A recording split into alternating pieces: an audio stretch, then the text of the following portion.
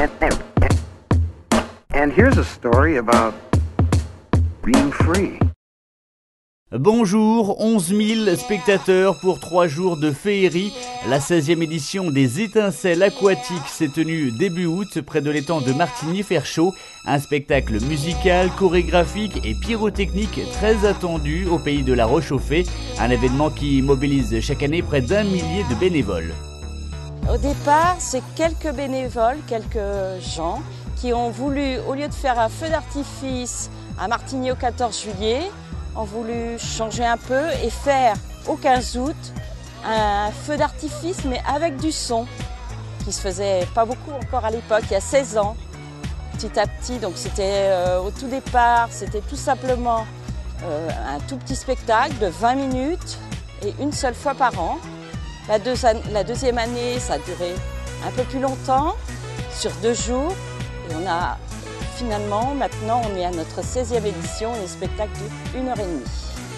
Donc c'est un feu d'artifice avec des différents tableaux, différentes chorégraphies et qui évoquent tout simplement les quatre fées et le monument de la Roche aux Fées.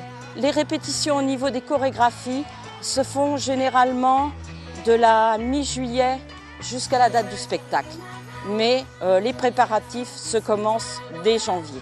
On commence à penser et petit à petit, il y a des ateliers hommes, des ateliers femmes et on commence véritablement à se mettre dans le bain en janvier pour le spectacle du mois d'août.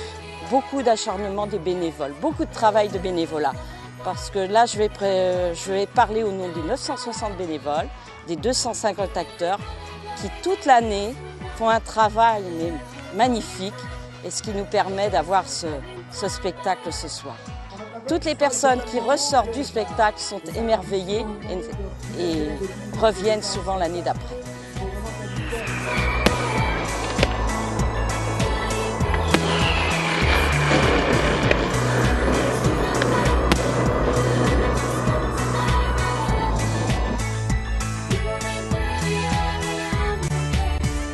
Plus de 200 000 personnes ont assisté aux étincelles aquatiques depuis 1994 et consécration en 2006, les représentants de Martigny-Ferchaud et des étincelles aquatiques ont reçu des mains du président de l'Assemblée nationale la Marianne d'Or, prix d'excellence des municipalités françaises.